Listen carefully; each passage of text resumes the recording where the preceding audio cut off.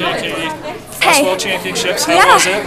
Oh my gosh, so much fun. I've just been really trying to soak up the experience. Oh my God. Um, and uh, I, I just had so much fun out there today. I was super relaxed. I feel like my mindset has been just like really good in building this whole indoors. Um, I mean, I'm a little bit disappointed with my overall place because, I mean, a lot of the things that Shelby just said in her interview. Um, my plan coming in was just to get in, tuck in on the rail, avoid as much jostling and uh, use, useless moves as I could. Um, I mean, every time I race, I go back, I watch the footage with Danny, and we kind of talk. And and at Millrose, I mean, I PR'd, but I um, I did run a little bit on the outside and like make some surges where I wasn't actually covering ground. I was just like surging and then like getting boxed out because there wasn't enough room for me and kind of going back. So I kind of took that in with me to USA's and I think it showed in my kick. And so today I was just, I knew there was going to be a move and I was waiting for that move. And it was just, once it happened, it's uh, it's so much more aggressive than when it happens at USA Championships. I mean, these are the best women in the world, and when they went, it was like, okay, and then it's like, you know, it took me a second to get around, and when I did, there was a little bit of the gap, and I was just trying to stay really calm and positive, and I was like, okay, some of those girls that went out up there are going to blow up. So just reel them in one by one and that's what I tried to do is like not count myself out and just keep moving up gradually. And I just I just couldn't quite couldn't quite get back up there. Um, and I really felt like coming in maybe my ranking wasn't as high. Uh, but I've been right there with Shelby. I beat Marielle and Emma at USA's so I knew that if I had a really good day like I could be up there and contend for a medal, and that's where, you know, I believed I could be, and uh, it just, you know, when you get into the race, it, you know, your legs can do what your legs can do on that day, and I, I, you know, gave it 100%, and I, um, I really enjoyed my experience out there, and I try, uh, you know, I've been trying to get to this meet for a long time, so, so uh, I just. I just wanted to do as good as I can, and hopefully I'll have other opportunities to come back and and keep chipping away and place a little bit higher where I, you know, believe I could place on a really good day, and that's all. That's all you can do.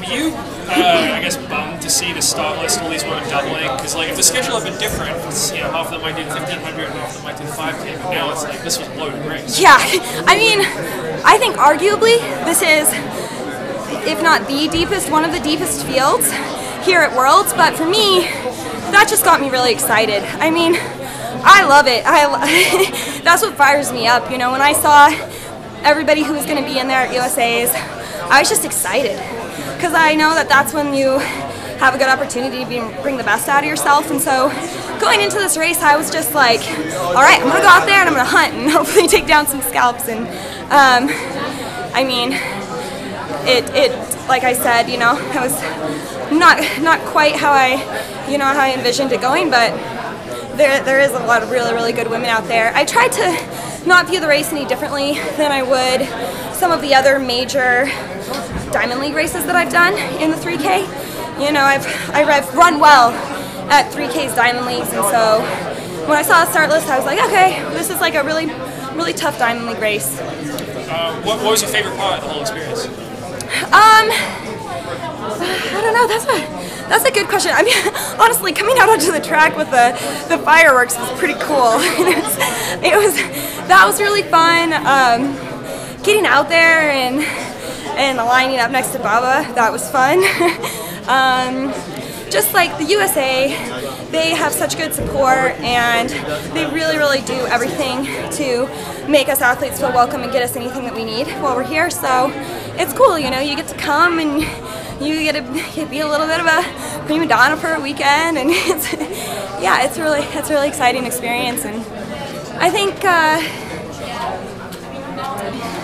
yeah, there's there's not much I would change except for trying to cover that move a little bit better. I mean, my mindset coming in um, was what, I've been working on all season, which is just you know, what's my armor when I get out there into battle, when I get out there onto the track.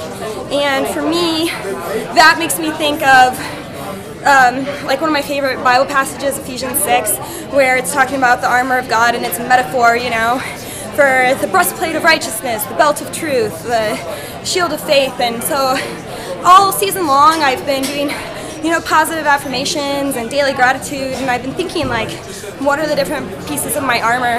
And um, and so I think that that's just been help, just been helping me to, you know, go out there and feel really calm and confident. So and have fun. and having made the team like after so many attempts, I guess individual American team, like what sort of message do you think that sends maybe to younger athletes or I suppose athletes who may have struggled with injury as you have in recent Yeah, I mean, I guess my message to younger athletes um, would just be, you know, don't don't give up. Listen to what you believe that you can do. There's going to be a lot of people who tell who want to tell you what you can't do. But if you believe what you can do, like those words don't have any power over you. And uh, just if it takes you a little bit longer than you thought, you know, keep keep going and keep chipping away and keep learning from the failures and getting back up because ultimately I'm grateful for all the hardships that I had that got me here because I think maybe it took me a little bit longer, but I'm a different person than I would have been otherwise. And I, you know, pushing myself in that way really forced me to find a lot of gratification in other aspects of my job. I think it makes me a better teammate. I, um, you know, I was really led to start a camp for high school girls in Seattle. You know, I don't, I don't know if those are things that I would have done if I would have had a really easy path right off the bat. And so, so I'm grateful for those, and I just would tell younger athletes to try and be grateful for those as well, and and just uh, just keep believing in yourself. And how hard has the last year been? I mean, getting back from that stress fracture back to this stage, you know, mixing with yeah. the best athletes in the world. oh man, uh, that was a pretty that was a pretty rough injury. You know, I cried a lot. There was a lot of days when I doubted myself.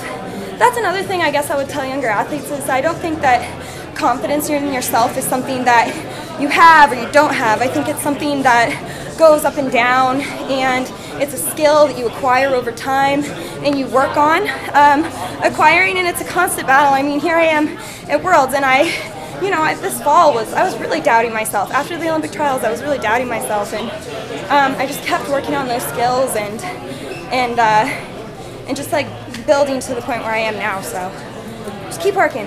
Had you made the team uh, at a much younger age, how do you think the, the 24 year old, year old you would have reacted to this race and to that move? Um, I think I would have. I think I would have reacted a, a really similarly. I mean, I try and think of where I was when I was 24 and I, I was racing in some of these bigger races, maybe I was a little bit more overwhelmed, whereas now I feel more calm when I'm out there because I'm like, okay, well, this is something I've been through before. I've performed well at these meets before. Um, and so I have that confidence that maybe I didn't have as a 24 year old.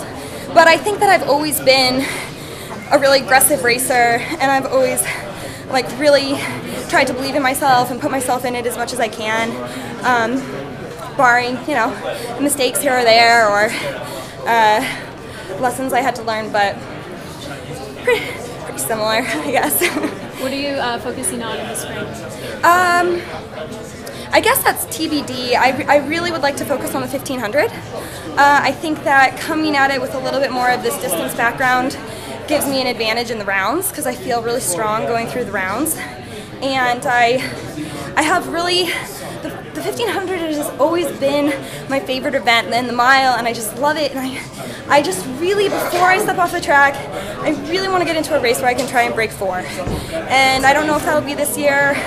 Um, hopefully, I feel like I'm in really good shape, and I feel like you know it's March 1st, and and I know that there's a lot of training left in the tank. Um, and Danny's always really smart with our programming, so I'm confident that I'll be able to come back and race even better in a couple months from now. Um, so hopefully, I'd like to get some good opportunities in that race, I guess. Okay, thank you, JD. Yeah.